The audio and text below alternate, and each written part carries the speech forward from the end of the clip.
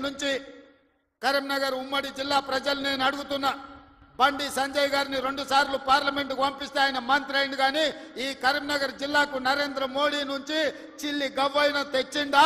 ఈ కరీంనగర్ అభివృద్ధి కోసం వారు ఎప్పుడైనా పార్లమెంట్లో మాట్లాడిండా? మీరు ఆలోచన చెయ్యండి.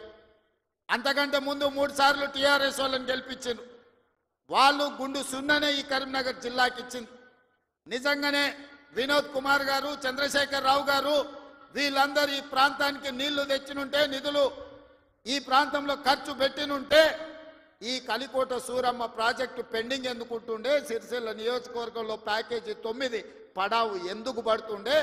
ఈ దేవుడు రాజన్న కోడె దూడలను ఇచ్చి కోరికలు నెరవేర్చే రాజన్న మందిరం పది సంవత్సరాలు పడావు పడ్డట్టుగా ఎందుకు ఉంటుండే అని నేను ఈ మిత్రులను అడుగుతున్నా.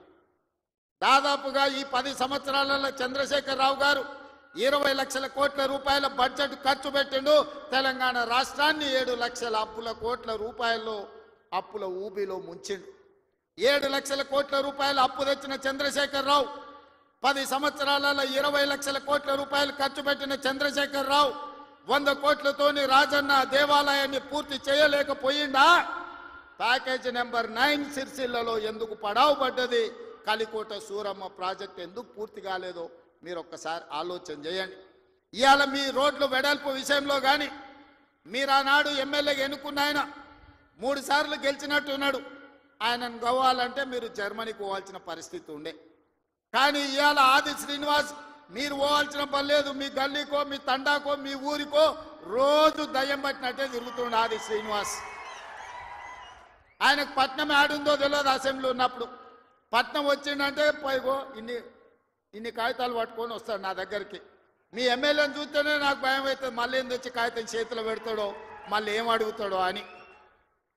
కానీ ఏదైనా ఎన్నడు ఆయన ఏ పైరవికి రాలే ఏ పని అడగలే ఏ కాంట్రాక్ట్ అడగలే ఏ బదిలీ అడగలే. ఈ వేములవాడ నియోజకవర్గానికి దాదాపుగా ముప్పై ఐదేళ్ళ నుంచి వివిధ హోదాలలో నేను పనిచేసిన ఇండిపెండెంట్గా నిలబడ్డా పార్టీ నుంచి నిలబడ్డా నన్ను ఆశీర్వదించి హక్కుని చేర్చుకొని నన్ను గుండెల్లో పెట్టి చూసుకున్నారు. నాకు ఒక అవకాశం వచ్చింది. నా జన్మ ధన్యమైతుంది పనులు చేస్తే మీరు సహకరించాలి.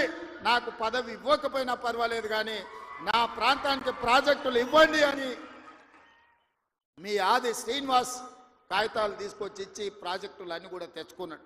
నాకు కూడా ప్రజల కోసం ప్రాంత అభివృద్ధి కోసం అడిగే ఎమ్మెల్యేలన్నా